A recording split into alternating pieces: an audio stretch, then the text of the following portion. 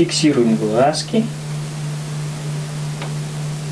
Клювик уже зафиксировали. И обязательно фиксируем перышки.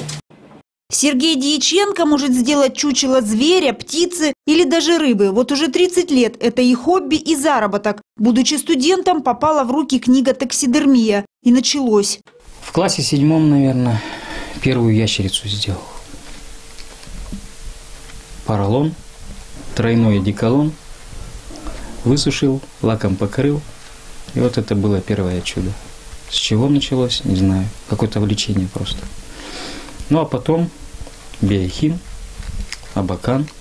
Во время создания чучела Сергей ощущает себя в некоторой степени скульптором, художником. Говорит, животным и птицам он дает вторую жизнь. Специально для поделки зверей никто не убивает. У каждого трофея своя история. Звонит женщина с города и говорит, Сергей Николаевич, у меня какая-то птица в капкан попала. До этого, говорит, курица утаскивала. Ну, попала в капкан, попала. Что, приехала, она уже на издохе, на последнем дыхании. Вот. Ну и забрал.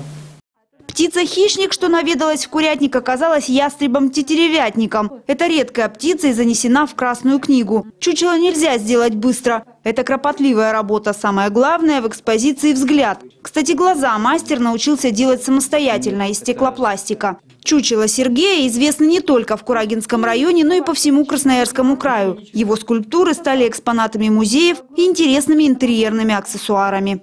За мою уже многолетнюю бытность руководителем предприятия, э, ну, видел э, ни одного, ни двух таксодермистов, но вот один из лучших, потому что он все время в творчестве, все время старается, все время э, его мастерство растет.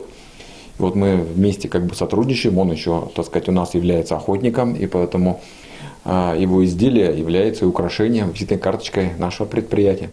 Привезут с Африки крокодила, сделаю крокодила. То, что имеет перья, кожу, все можно сделать. Ольга Максюшина, Алексей Фролов. Новости.